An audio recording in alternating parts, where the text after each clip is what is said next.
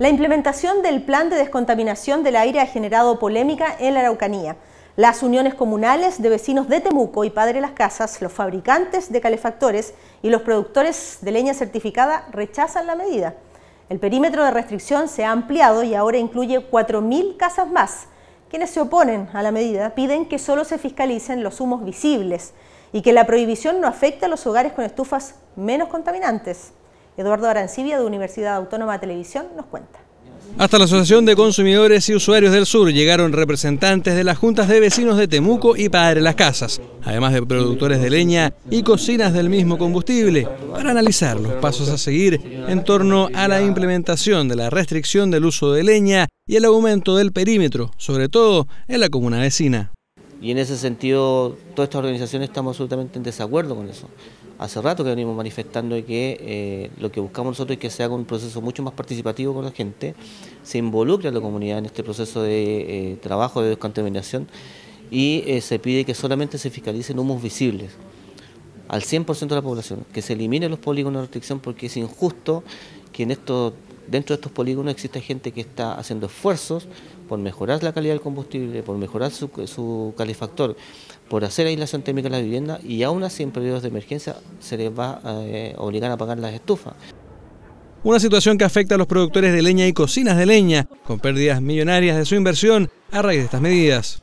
Hemos tratado de trabajar con medio ambiente, de hecho creamos una mesa con ellos, con un comité técnico que se llamó, pero de repente ellos cortaron relaciones hace como siete meses. Ahora llamó Eduardo Schlepp diciendo que se iba a retomar, eso no lo puedo discutir, pero con el Ceremi, el Ceremi hace dos años que no nos recibe.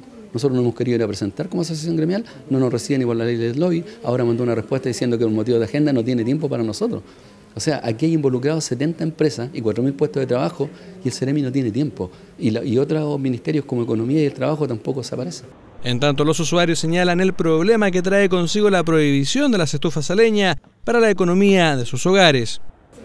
El año pasado restricción y este año hay mucha más restricción por el tema del uso de la, cocina y de la, de la estufa. En lo cual hay bastantes vecinos de, de bajos recursos, en lo cual ellos no tienen como para mejorar su vivienda en este caso, eh, no tienen aislación térmica y se les complica bastante apagar la estufa o apagar la cocina, como se pretende. Una normativa que busca disminuir la contaminación, pero que sin embargo afecta a cientos de familias cuyo único medio de calefacción, cocina y secado de ropa es el uso de leña, cambiándose así, según señalaron, las enfermedades por el humo por aquellas relacionadas a las bajas temperaturas. Han pasado siete años desde el terremoto y tsunami del 27F y todavía habían personas que si bien recibieron una casa, no tenían los papeles en regla, pero ahora 390 familias recibieron del Ministerio de la Vivienda sus títulos de dominio. De esta manera se han convertido formal y legalmente en dueños de su casa. Termina así la reconstrucción de una zona para seguir con otra, los sectores afectados por los incendios forestales. La nota es de Contivisión. Este conjunto habitacional emplazado en la parte alta de Constitución fue entregado en noviembre del año 2015 a familias damnificadas por el terremoto y tsunami del año 2010 catástrofe natural que golpeó con extrema rudeza esta ciudad de la región del Maule. Debieron pasar varios meses para que finalmente las 390 familias de Vista Hermosa lograran convertirse oficialmente en dueños de su propiedad. Llegó lo que tanto anhelábamos, pues también para poder tener nuestro proyecto y salir más adelante con, nuestro condominio. Es un proceso que tú sabes que no recibir una vivienda igual no es de la noche a la mañana, así que después de tanto trabajo, de las 390 familias, ya tenemos este fruto. Pasamos cinco años en espera para que nos hagan los departamentos eh, y ahora después de, de un año y tres meses ya estamos recibiendo nuestra escritura. Solo en la región del Maule el terremoto implicó reconstruir 54.000 viviendas, transformando la reconstrucción habitacional en una gran tarea para dos gobiernos, tarea que a juicio del Ministerio de Vivienda está en su etapa final. Yo diría que la etapa final de la reconstrucción del 27F en materia de vivienda, y hoy día estamos cerrando el ciclo en materia de vivienda en todas las, tres, las regiones involucradas en el 27F. Y en el caso de la región del Maule nos queda una sola vivienda por iniciar lo cual es una gran noticia. 390 escrituras públicas para familias que ya ocupan un nuevo barrio en la zona costera del Maule, tarea de reconstrucción concluida siete años del terremoto. Sin embargo, ahora comienza una nueva tras los incendios forestales de enero de este año. He estado hablando con la familia, han esperado mucho tiempo, pero se cierra, empieza a verse la luz al final del túnel. Y esa es la continuidad de los gobiernos que uno siempre aspira, que lo que empiece uno lo termine el otro, lo mismo que en otro tipo de temas como los incendios forestales que vamos a tener que hacer lo mismo. Buscando cómo los recursos que ya conseguimos los podamos aplicar, traer para la región del Maule, traer, ¿no es cierto?, para Empedrado, traer para Constitución, para nuestras comunas que van a necesitar luego volver a la normalidad superado este tema. Entonces, son enfoques distintos, pero creo que ahí tenemos todavía un trabajo que hacer.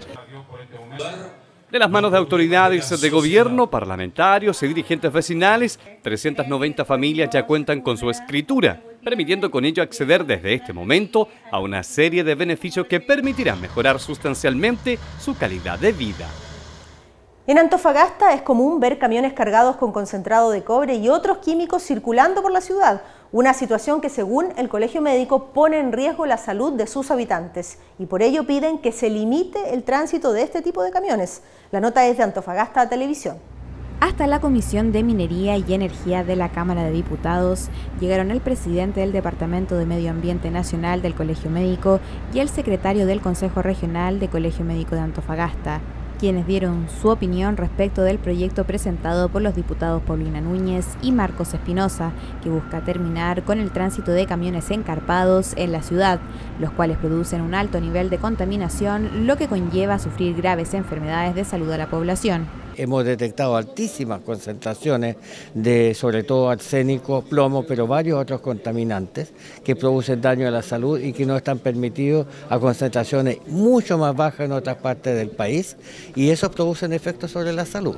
Eh, entre los más conocidos mencionamos nosotros el cáncer por exposición crónica a arsénico que produce eh, cáncer pulmonar de la vejiga, del riñón, de la piel y del hígado. La propuesta busca regularizar a través de una ley otra manera de transportar el material contaminante, ya que el encarpado no impide que los metales no contaminen mientras son transportados por las calles de la ciudad. Proteger la salud de los antofagastinos y de todos los chilenos y respaldar también el cuidado al medio ambiente. Es clave entender que hoy día, cuando muchas empresas han dicho que esto ya lo están haciendo voluntariamente, esto quede regulado por ley, como corresponde.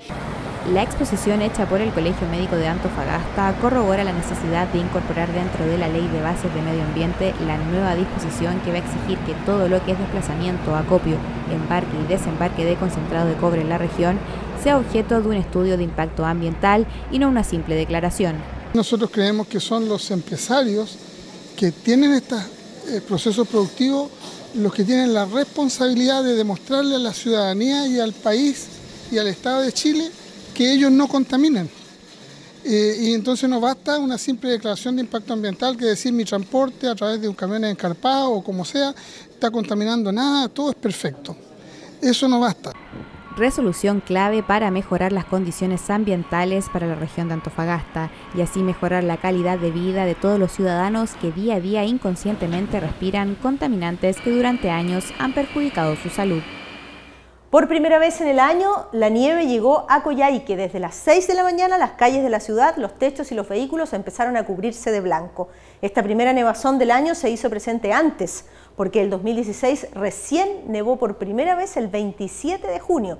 Pero atención, este sábado debería volver el sol, porque se pronostica un día despejado con algunas nubes ocasionales y la lluvia se hizo presente con intensidades diversas en otros puntos del país, entre las regiones de Valparaíso y Magallanes. La Dirección Meteorológica mantiene el pronóstico de tormentas eléctricas, atención, desde la Araucanía hasta Aysén. Hacemos ahora una pausa y ya estamos de vuelta con más Portavoz Noticias. Hola, ¿cómo estás? Bien. Más o menos. Mal. Bienvenido. Buenos días.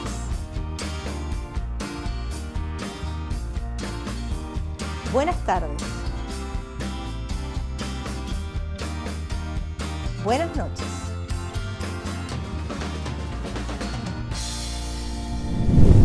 Javi.